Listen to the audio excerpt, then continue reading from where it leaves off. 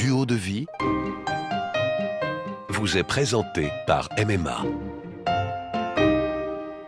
Edouard est un enfant autiste de 11 ans.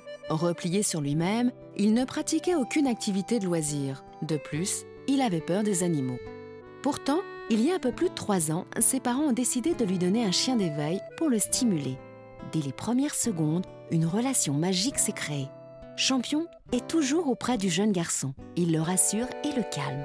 C'est grâce à cette confiance nouvelle qu'Edouard peut aujourd'hui suivre un programme d'équithérapie avec une orthophoniste. Même dans le manège, le chien suit son maître sur son poney, attentif.